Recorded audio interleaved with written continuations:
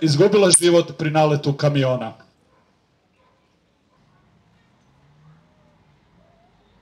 Neka je laka zemlja. Ali svi znate zašto smo se ovdje okupili. Znate koliko problema ima, okrenite se oko sebe, tu su vaši prijatelji, tu su vaši susjedi. Mnogi od vas probali su, upozoravali su, sami ste slali dopise, ništa se nije promijenilo. Zato smo sada ovdje. Nećemo čekati da se tragedija ponovi, moramo djelovati hitno i to ćemo tražiti od gradskih vlasti. Uglavnom ili ih se ignorira ili se lopta sa odgovornošću.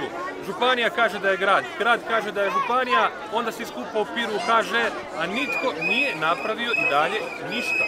Kad očekujete sastanak sa predstavnicima grada i županije?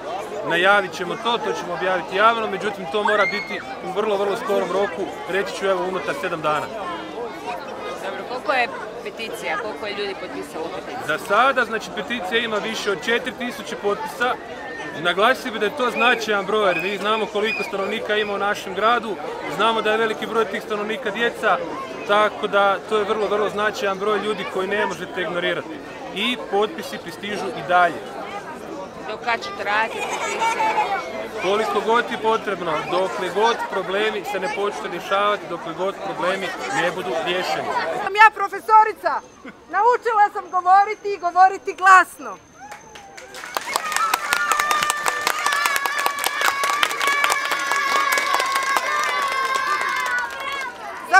Ću s pitanjem zbog koga smo ovdje?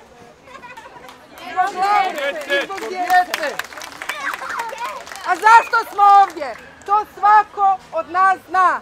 Ovdje smo zato što ne vjerujemo u kolektivnu odgovornost, nego u osobnu odgovornost. Da trebamo uložiti naše vrijeme i naše znanje u promjenu koja nam treba.